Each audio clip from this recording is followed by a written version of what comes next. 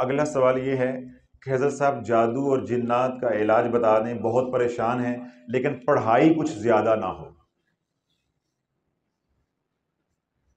अब देखो, जो आया मैंने तो आपके सामने पढ़ दिया। मुझे मालूम है ना, उम्मत का, उम्मत की नब्ज, देखे ना, जो हकीम है, तबीब है, उसको नब्ज देखनी ना आती हो तो वो क्या इलाज करेगा? ठीक है ना, क्या इलाज करेगा?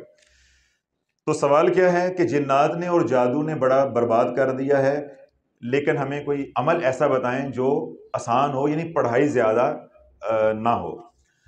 तो अल्लाह वालों, आसान सा अमल बता रहा हूँ। पहला काम जादू और जिन्नात से बचने के लिए हसार है।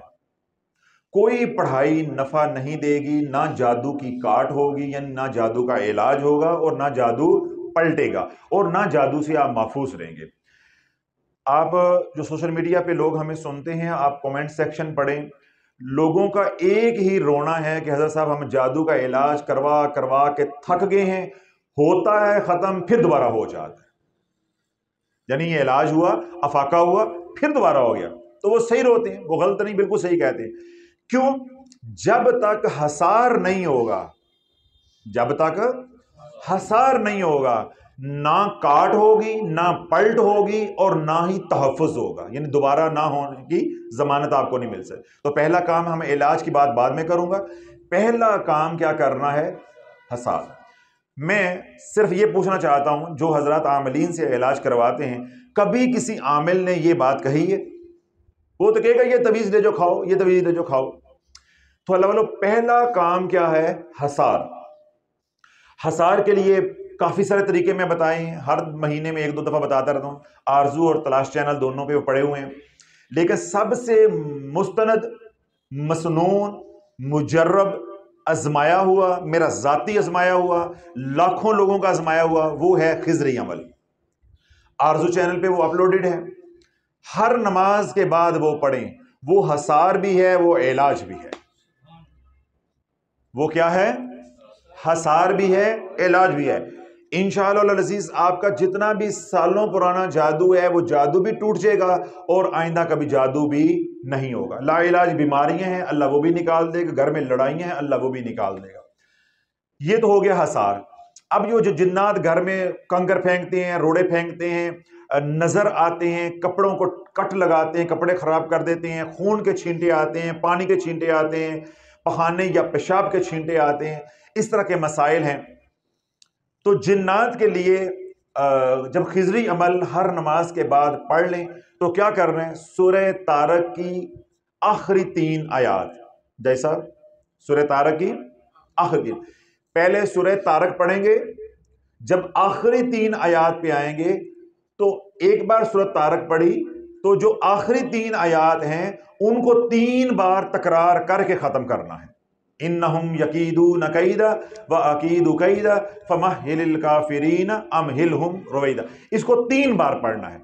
तो हर नमाज़ के बाद तीन बार सूर्य तारक पढ़नी है, लेकिन ये जो आखिरी तीन आयात हैं इनको तीन बार। तो यूँ सूरत तारक हर नमाज़ के बाद कितनी बार पढ़ी जाएगी? तीन बार। और जो आखिरी आयात है वो कितनी बार हो जाएँगी? नौ बार। समझ आ गए? ये आप इलाज करते रहे करते रहे, दो हफ़्ते, तीन हफ़्ते, चार हफ़्ते, छह हफ़्ते, आठ हफ़्ते। जब आप देखें कि मेरे घर के मामला कारोबार के मामला जिन्नात, जादू के मामला बेहतर हो गए, फिर क्या करना है? खिजरी अमल की मरने से आधा मिनट पहले छुट्टी मिलेगी। पूछेंगे ना हमारे से कि खिजरी अमल कदों तक पढ़ना है? तो मैं बता रहा हूँ। यानी जब जिब सईदना इसराइल इस्लाम बस एंज करके तेरे सामने आन तो खिजरी अमल बंद कर देना है। तादम मौत पढ़ना है। अगर तहफ़ सारी ज़िंदगी चाहिए तो सारी ज़िंदगी पढ़ना पड़ेगा। हर नमाज़ के बाद पढ़ेंगे, चलते फिरे, फिरते पढ़ें, जिन दिनों में नमाज़ नहीं पढ़नी, खिजरी अमल की छुट्टी फिर भी नहीं है, अल्लाह के ज़िक्र की नीयत करके पढ़ें असकार की नीयत करके, वजीफ़े की नीयत करके, इलाज की नीयत करके पढ़ें, तलावत की नीयत से नहीं पढ़ना, जिन दिनों में अयाम होंगे। तो बाकी जिन दिनों में नमाज़ पढ़नी है, उन दिनों पर मर्द हजरात का कोई मसला नहीं है। तो दूसरी बात जो मैं कह रहा था कि जब चार हफ़्ते बाद, छह हफ़्ते बाद, आठ हफ़्ते बाद आपके मामला बेहतर हो जाते हैं, फिर क्या करना है कि सूर्य तारक एक बार। सौखा हो गया ना? यानी उन्होंने कहा था कि जिन्नात जादू ने तंग किया हुआ जैसा वजीफा बता दें, लेकिन पढ़ाई ज़्यादा ना हो। तो अल्लाह वालों, सिर्फ़ सूर्य तारक एक बार। अब इसमें जो आखिरी तीन आयात आएँगी, उनको तीन बार दोहराना है। कोई मुश्किल है? चलते फिरते पढ़ें बैठ के पढ़ें, बगैर वज़ू के भी पढ़ें नमाज़ पढ़ी है, वज़ू बाद में टूट गया तो दोबारा वज़ू करने की ज़रूरत नहीं है, बगैर वज़ू के भी पढ़ सकते हैं। लेकिन आदत यही बनाई, मस्जिद में नमाज़ पढ़े, बहने घर में नमाज़ पढ़े, उसी मसल्ले में बैठे बैठे पढ़ लें। जिस तरह इमाम साहब हैं, वो दुआ करवाने के लिए अभी बकिया नमाज़ लोग पढ़ रहे होते हैं, दुआ करवाने में वक्त होता है बैठे बैठे पढ़ ले। नहीं, मस्जिद से जूते निकाल रहे हैं, उस वक्त पढ़ते आए, अपनी दुकान पे आ रहे हैं, अपने घर में आ रहे हैं आते आते पढ़ ले। सुबह दफ्तर जाते जाते पढ़ ले। कोई बैठने की, कोई मैं वक्त आपसे नहीं मांग रहा। जिन, जो, जब इलाज करने पहले पाँच, छह, सात, आठ, दस हफ़्ते तो उन दिनों में सूरत तारा कितनी बार पढ़ेंगे? तीन बार। और आखिरी तीन आयात हर बार तीन बार। जब अल्लाह पाक आपको आसानी कर दे, आपका दिल मुतमिन हो जाए कि मामला अब ठीक है, फिर सूरत तारा कम करके सिर्फ़ एक बार। अल्लाह ये छोटा सा अमल है सारी ज़िंदगी अपने हाथ में रखो, कभी भी अल्लाह आपको जादू और जिन्ना से परेशान नहीं होने देगा। रिस्क की तंगी नहीं आने देगा, लाइलाज बीमारियाँ नहीं आएँगी, घर में लड़ाइयाँ नहीं होंगी बंदिश का आपको शिकार नहीं होने देगा। किसी दर पे अल्लाह आपको मोहताज होकर तवीज धागे के लिए जाने नहीं देगा। ये छोटा सा अमल है। हर बंदा करे जिस तरह हमारे अलहमदिल्ला जो मुतलकिन है, मुरीदैन है, मैं उन सबको कहता हूँ, भाई, ख़त्म शीप पढ़ो या खिजरी अमल करो। जब ख़त्म शीफ आप हजरात पढ़ते हैं, उसे उसके अंदर ये खजरी अमल भी आ जाता है। तो अजाफी मैंने क्या सिर्फ़ बताई? सूरत तारक।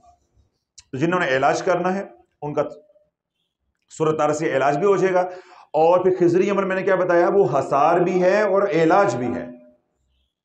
तो दो हाथों से इलाज, यानी दोनों तरफ़ से इलाज हो रहा था इन शाजीज एक हफ़्ता, यानी सात दिन आप करके देखें अब जोलियाँ उठा के दुआएँ देंगे कि हमारे घर के हालात जो है बेहतर हो गए तो इससे मुख्तसर मेरे पास अमल नहीं है। इसलिए वो जोंग कंपनी कहती होती थी कि इससे सस्ती खामोशी। इससे सस्ती खामोशी।